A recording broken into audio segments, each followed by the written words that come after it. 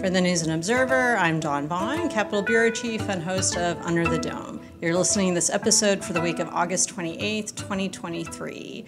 After about 20 years of progress, North Carolina Freedom Park opened this past week in downtown Raleigh between the Executive Mansion and the Legislative Building with a ceremony attended by hundreds of people from the governor, all of the park board members, the community, and, and other guests. So, my two guests today are Senator Natalie Murdock, a Durham Democrat who's been integral um, in the park before yep. I think you were even in Absolutely. the state senate, yep. and uh, uh, historian and professor Reginald Hildebrand, a board member, and um, several other things. So tell us a little bit about um, your uh, your career and, and history and, and how you ended up on the board. I am a retired professor of Afro American Studies and History, and I've taught at uh, Williams College in Massachusetts. Uh, the longest stretch of my career was at UNC Chapel Hill. And after retiring from there, I taught for three years at Durham Tech. Now I'm just retired. so, how did you? How long have you been involved with the Freedom Park project? How did that come together? Uh, it uh, about 20 years, maybe a little longer than that. Um, a friend of mine, uh, Diane Pledger, asked me to come to one of the town meetings they had at Durham, and the next thing I knew, I was part of the board, and then I was uh, chair of the site selection committee, and then I became co-chair of the project itself, uh, and uh, now I am a, a, member of the board. Okay, and Senator Murdock, how did you yes. become involved with it? Yes, um, I've been reflecting on so much of this this week. Yeah. Everything happens for a reason and it's all about timing. At the time, I was actually Deputy Communications Director for Attorney General Josh Stein. I was working full time on the Deborah Ross for U.S. Senate campaign. We unfortunately didn't win. And so I was at the Department of Justice, and at the time, Valerie Jordan, who's now on the DOT board, mm. was a new member on the Freedom Park. And she said they're looking for a campaign coordinator. You've expressed an interest in looking into consulting opportunities what do you think? And um, so kept thinking about it. Ironically, um, literally fell into a corporate contract around the same time. Um, so when I finalized those two opportunities, I actually left the Department of Justice to start consulting full time. Um, so the North Carolina Freedom Park was actually my first contract.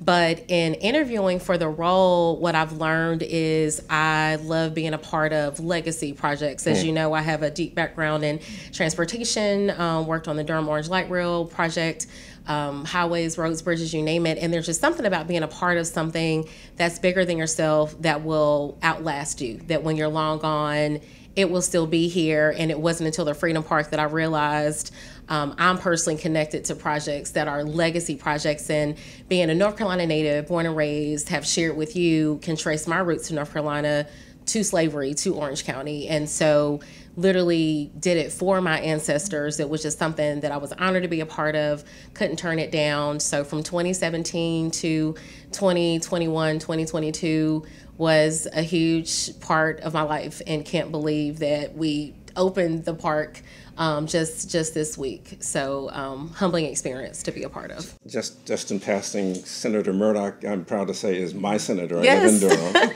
Durham, and uh, her coming on board was a great plus for this project, moving it forward when she did.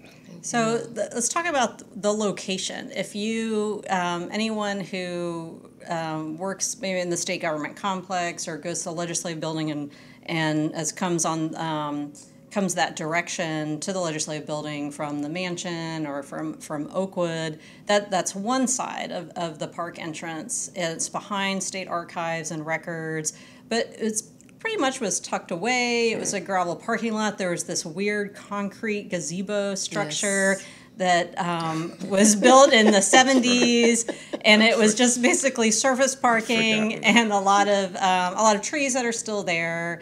Uh, the Victims Memorial in one little part with a garden. And then a long time ago, it was, um, you know, a house was there, mm-hmm. and it was mm-hmm. owned by someone who enslaved people, Absolutely. you know, two about 200 years ago or mm-hmm. so. Um, but how did that land? I mean, I guess the state already owned the land, so is that part of it? Like looking at how um, what state-owned land isn't being used that could turn into something like this? Do you, um, how, how was the location picked? We had great help uh, from um, Jeff Crow and Mike Hill in state government and the Department of uh, Natural and Cultural Resources, the state archives uh, and history departments. uh, who walked us through a number of sites to see what was possible. Uh, this one symbolically was just so important. It was state land that was leased to us for the purpose of building this park with the understanding that when it was completed, it would revert to uh, state uh, ownership. Uh, the symbolism of it being uh, across the street from the legislature where history is made and next to the archives where history is recorded mm-hmm. uh, and uh, just uh, behind just across the street from uh, the governor's mansion makes it such a prominent and central place symbolically uh, that there that people coming out of any of those buildings will see the beacon of freedom and hopefully hear the voices of freedom inscribed on those walls. Mm-hmm. And I think Governor Cooper really nailed it in his remarks of just that connection that it makes. I mean, uh, to be a part of the project for around five years and to be a legislator and to walk in and out of that building during the mm. construction, you just felt the significance of it being in that spot mm. and just that connection when, quite frankly, you know more divided than we've ever been and for the freedom park to hopefully be a bridge you know between the governor's mansion and the general assembly to say let's acknowledge this history that literally took place on those grounds and just hats off to the vision because i can't tell you how many times we're working on the project and we let them know where it's going to be and honestly folks didn't get it but now that it's open and they walk through it they're like oh this is the perfect place for it because it was very uh, unassuming and you know folks parked there if they worked at cultural resources. But now we see truly how underutilized it was and how it's literally going to change the look and feel of that entire government complex.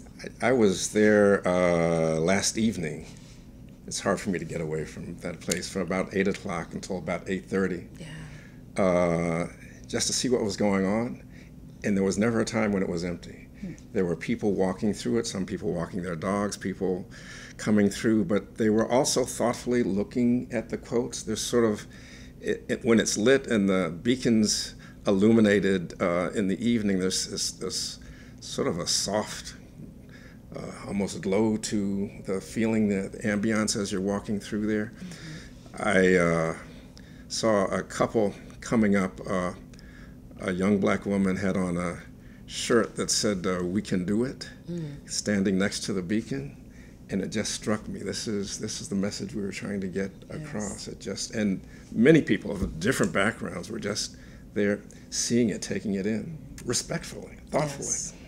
What do you see it as being? You mentioned legacy. Mm-hmm. Ten years from now, twenty years from now. Um, as as what it's going to be, uh, a gathering place of just, I guess, part of just what downtown is. It's kind of the first of several changes that are going to come. Mm-hmm. Um, the uh, natural sciences, which everyone I think knows her. If you say like the giant globe, mm. that side, mm-hmm. it's going to have the um, dinosaur lab on the street, so that'll be a draw. Department of Administration is it'll probably be in the budget more money to bring that building down mm. and then build mm-hmm. an education campus. So all of mm-hmm. the state employees, their what they see and where they work is going to change, but also the potential draw with the students that come, yes. um, both to the museums, because you can see from the History Museum, if you're coming out to the um, parking lot in front of Cultural Resources, you can see Freedom Park right there, or on the mm-hmm. edge of the legislative building. Mm-hmm. Um, do you see that as being a, a, field trip destination? I know you had talked to the, the high school students yes, that toured it under construction. yeah. Yeah, we, we definitely see it as being a, a, huge draw. It's something that's always been a part of the concept for the project for the entire 20 years. And again, North Carolina native, um, you know, someone who remembers those field trips you take to the state capitol.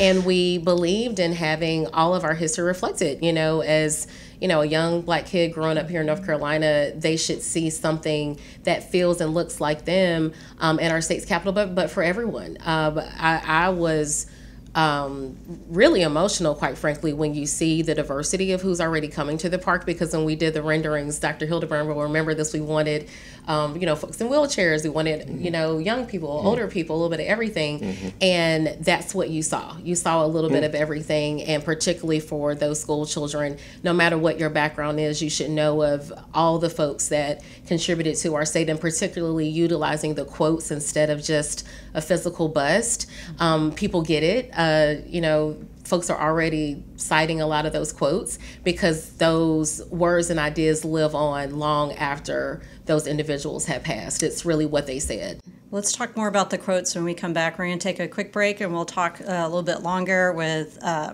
Dr. Hildebrand, Senator Murdock about Freedom Park, about the monument that hasn't gone up yet a couple blocks away, and our picks for headliner of the week. We'll be right back.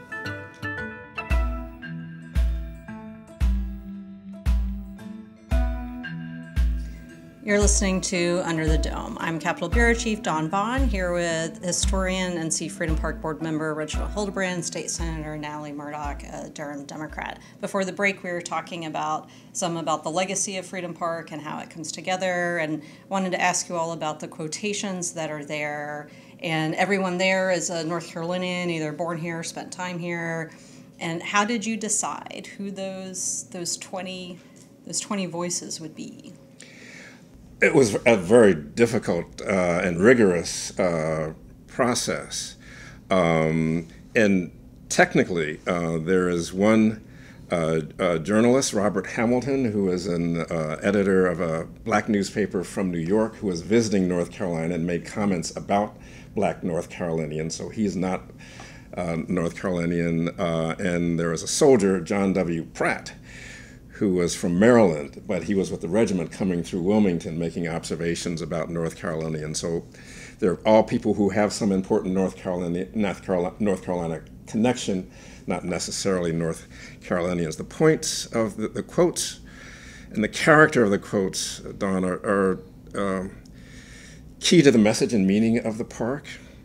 And I'll give you one example. The quote uh, from Abraham Galloway or says, I'm looking for the rising generation, a foundation must be laid.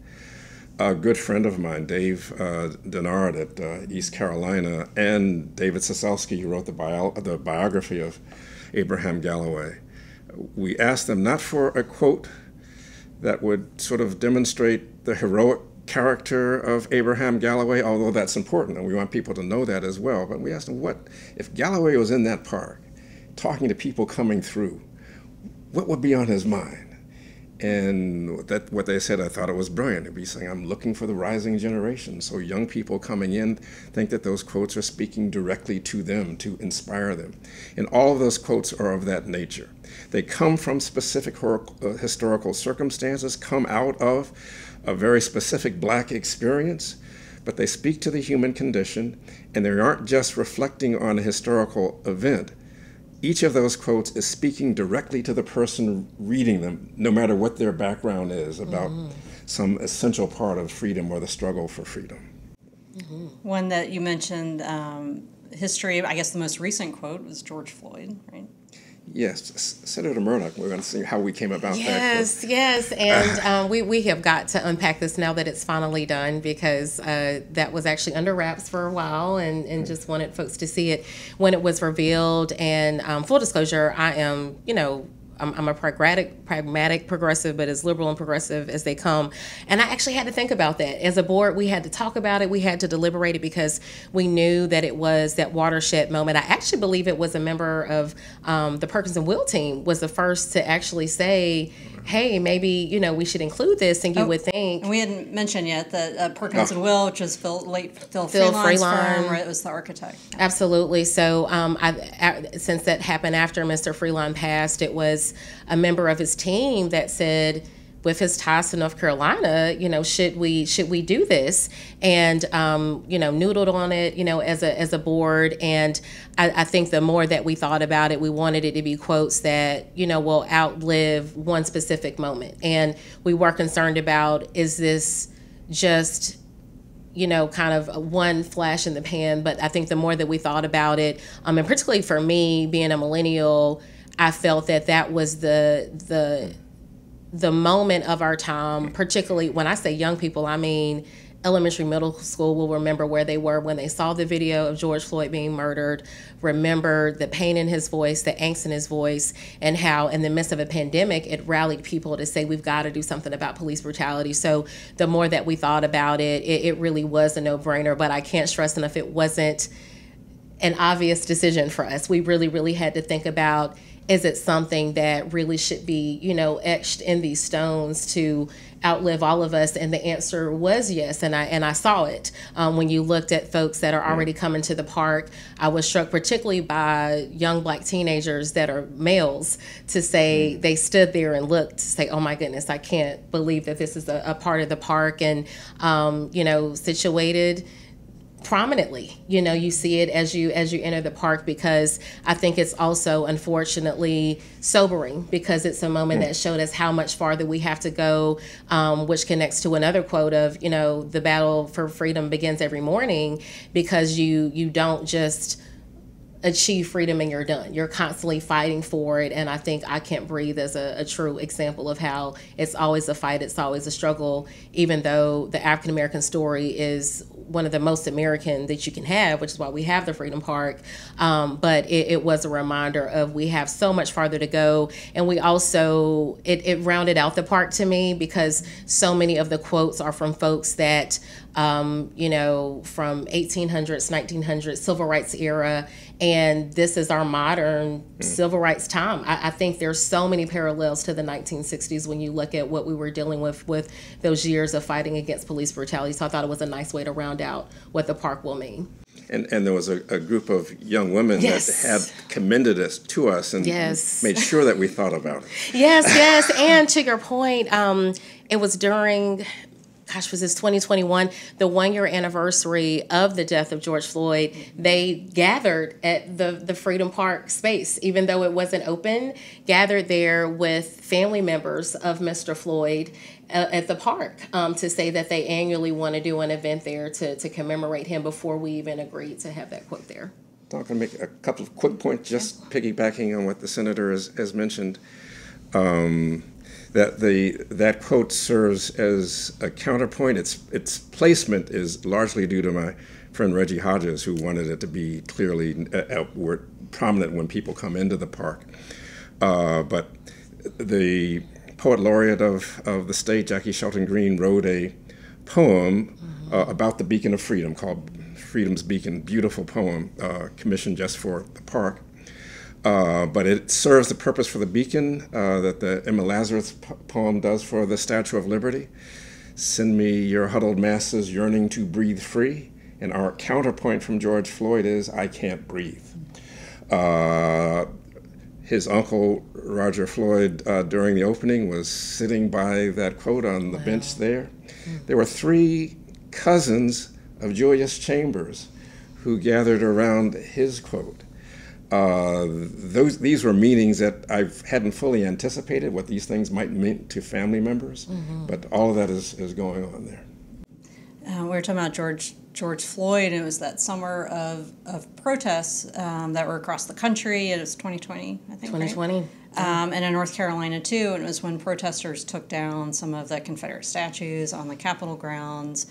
Uh, for those who aren't familiar, listeners, uh, the North Carolina state law that passed under McCrory doesn't allow you to relocate Confederate statues or others unless it's to a similar prominent place, unless there's a safety hazard, that sort of thing. So what happened is protesters took down some of the um, Confederate soldier statues on the on the Capitol grounds, and then Cooper's administration removed the others mm. under the the. Basis of the law of saying is safety because of all these all these protests and everything else. So around that same time, there was plans for a completely separate project um, on the Capitol grounds for an African American monument that they hadn't totally decided what it would be. I believe it was like the, the Heritage Commission had spent decades on going through what this, they already knew the corner it would be on, the southeast corner, and, and what it might look like. And it, I think it would be like these low walls, and they weren't sure if there would actually be statues or something like that.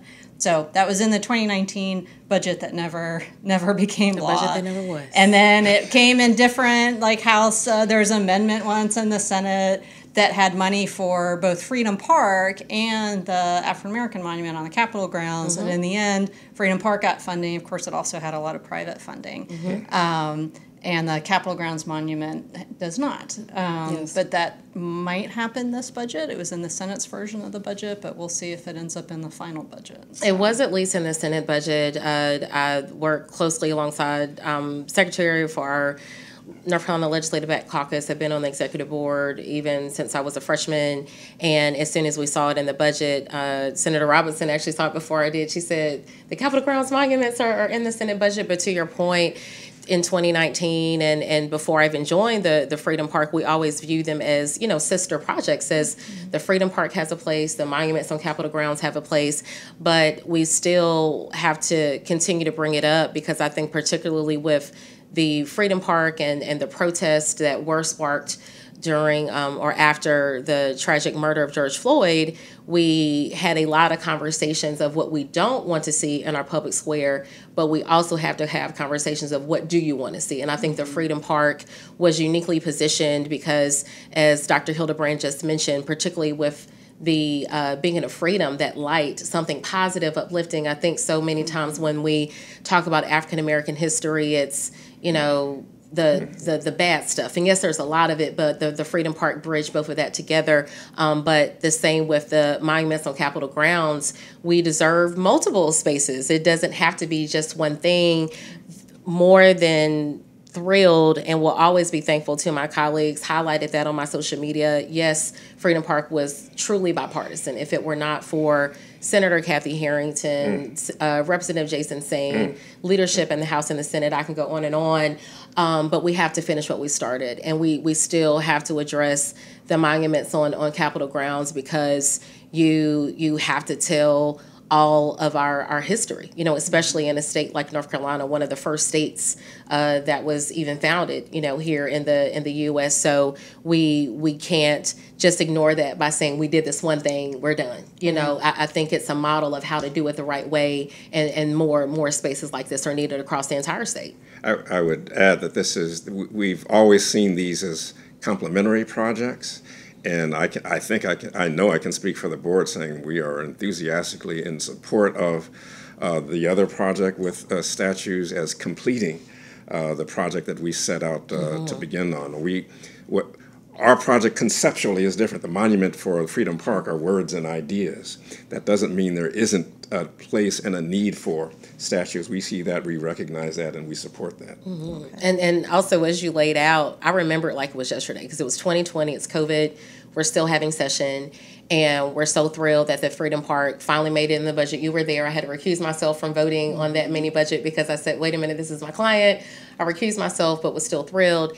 And um, as it started working through the House after the protest, that is when we saw the funding removed from Monuments for Capitol Grounds. And it, it, it, was a gut punch, honestly, you know, because we always view them as complementary projects where both of them were needed in the heart of our state's capital. Well, we'll see while we wait on the budget. We're about out of time, so if we want to go through our uh, our picks for headliner of the week. I'll, I'll, go first and then turn it over to you both. Mine, uh, as you're listening to this on August 28th, it's the first day of the traditional school calendar. Um, my son is a high school sophomore, and there was the Meet the Teacher open house this past week at his high school, and there's a new principal, and they did the Q and A, and a lot of people had questions about well, what about this and that, and you know your own kid.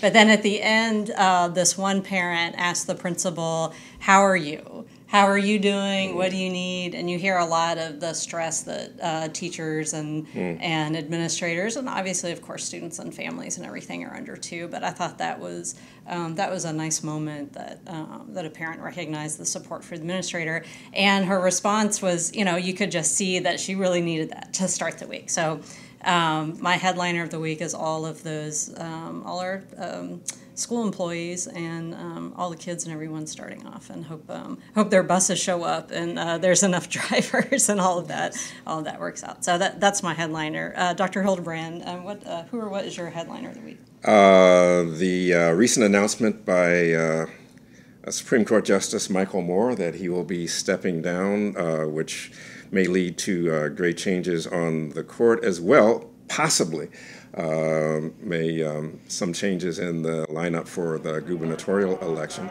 This is uh, August 28th, uh, and this is the 60th anniversary of the March on Washington.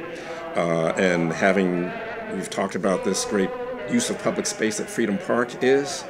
Uh, the, Mar- the, Lincoln Memorial, which does not mention the Emancipation Proclamation. Uh, we, in a sense, are doing something they did not do by putting the focus on freedom, but both of those spaces indicate that the meaning of that public space comes in part from what people bring to it, what happens there. So um, Martin Luther King, in effect, rededicated that space and gave it a meaning it didn't have initially. Uh, and we're hoping that will happen many times with Freedom Park. All right, and uh, if Justice Morgan gets in for governor or for, um, I've heard, uh, you know, other council of state positions, if he ends up doing that, it'll, it'll be um, you know, a little more interesting campaign season. We'll see. As far as the primary, Republican gubernatorial primary is uh, going to be pretty active. We'll see what, what happens on the on the Democratic side. Uh, all right, Senator Murdock, uh, what's your headline? Yes, as, as a member of the Education Committee in the Senate, have to stick with education. Uh, I started my week Monday and Tuesday with the Hunt Institute. Attended the DPS convocation. Um, it's the way that you have convocations at the collegiate level. We do it in Durham, and we get all the staff together, all the teachers fill Durham Stadium to have a big pep rally to get excited about the school year. And um, but it was sobering. Um, so many parents, teachers, students. When are we going to get a budget? Um, so I cannot imagine being a superintendent, a principal, a teacher coming into the school year, not really knowing what you're planning for, and it's just time for us to figure it out. You know, we we really really have to get a budget. We rush back um, to do some overrides just last Wednesday, but we we really really have to allow our schools and our counties, our county commissioners commissioners were there to, to plan and to, to get a budget to give our students what they need to have a successful school year. Reporters are waiting on the budget too, so I think everybody is. So well. gotta do it. Gotta do it. All right. Uh, thank you, Dr. Hildebrand, Sarah Murdock, for for being here. I'm Dawn Vaughn for the News and Observer. Thanks for listening, and we'll talk to you next time.